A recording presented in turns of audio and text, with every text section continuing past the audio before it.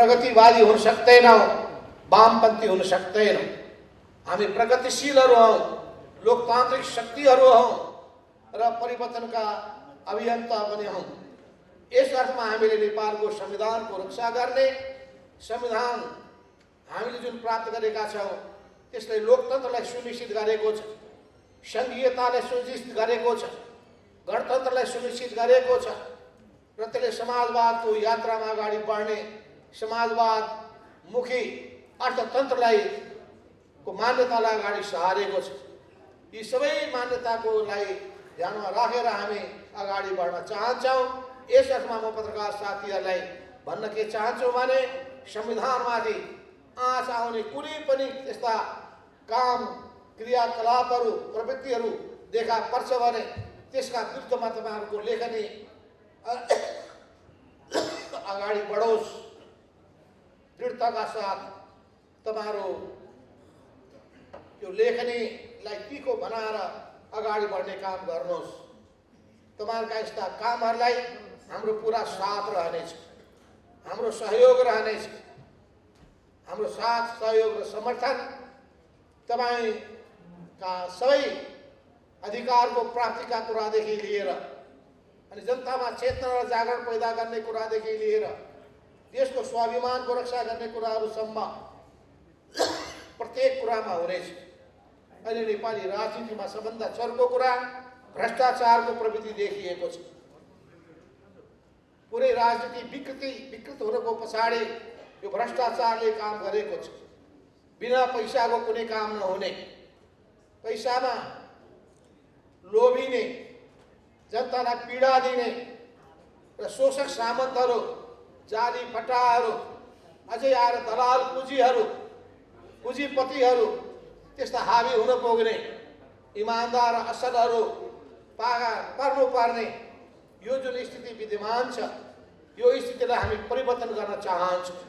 र त्यसको निम्ति असल बन्न सक्यौँ भने स्वच्छ छवि राख्न सक्यौँ भने भ्रष्टाचारका विरुद्धमा उभिन सक्यौँ भने अनि बल्ल हामीले आफ्नो कर्तव्य पुरा गरेको ठहरिन्छ अहिले नेपाली समाजमा भ्रष्टाचारको पनि नाङ्गो रूप आएको छ।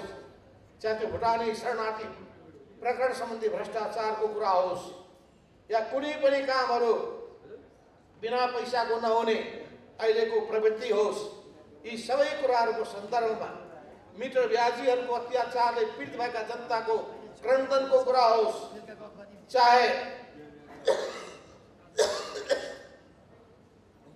दलितहरूमाथि भेदभाव गर्ने प्रवृत्ति होस् यी सबै खालका गलत प्रवृत्तिहरूका विरुद्धमा जुझ्नुपर्ने आवश्यकता पर्छ यस अर्थमा राजनीतिक अभियन्ताहरूले सामाजिक अभियन्ताहरूले यी सबै दृष्टिकोणमा प्रष्ट भएर अगाडि बढ्नुको साथसाथै तपाईँहरू यस जगत पत्रकारिता जगतका योद्धाहरूले आफ्नो कर्तव्य आफ्नो जिम्मेवारीलाई पनि त्यही अनुसार महसुस गरेर अगाडि बढ्नुपर्छ यसलाई एउटा मर्यादित पेसाको रूपमा हामी सबैले लिनुपर्दछ यस अर्थमा पत्रकारहरूको सम्मान मान मर्यादा सम्मान गर्ने कुराको सन्दर्भमा अहिले भर्खरै तपाईँहरूले यो अभियानमा लागेका अभियन्ताहरूलाई सम्मानित गर्ने काम गर्नुभएको छ यो समाजवादी प्रेस सङ्गठन यसका अध्यक्ष शम्भु श्रेष्ठ लगायत सबै साथीहरूलाई विशेष धन्यवाद दिन चाहन्छु।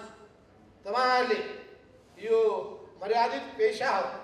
यो मर्यादित पेसामा लाग्ने व्यक्तिहरूलाई सम्मान गर्नुपर्दछ भनेर जसरी सम्मानित गर्नुभएको छ त्यसले मानिसहरूलाई अघि बढ्नको लागि हौसला प्रदान गर्दछ। म अहिले यदि मात्रै भन्न चाहन्छु कि तपाईँको यो महाधिवेशन राम्रो ढङ्गले सफल बनाउनुहोस्। व्यापक रूपमा छलफल गर्नुहोस्।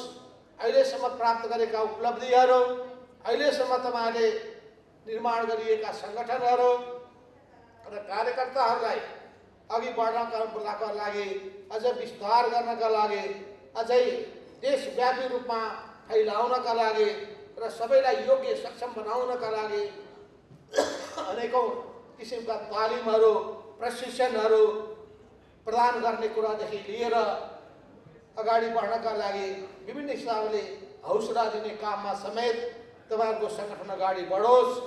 यही म शुभकामना व्यक्त गर्दै यो महाधिवेशनको पूर्ण सफलताको कामना गर्दै आफ्नो मन्तव्य यही टुङ्ग्याउँछु हस्त धन्यवाद।